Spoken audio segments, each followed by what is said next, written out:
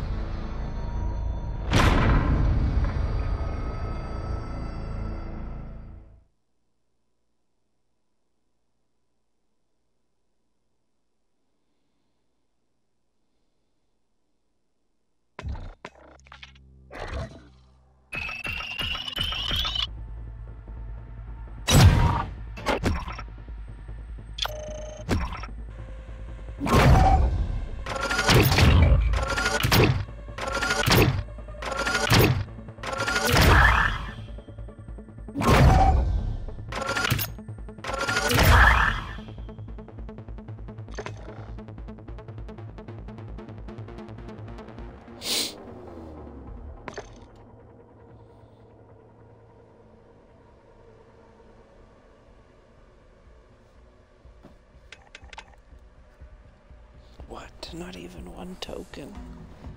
But And there's that five radio, so I've done two. I'll keep doing it for a minute. Six.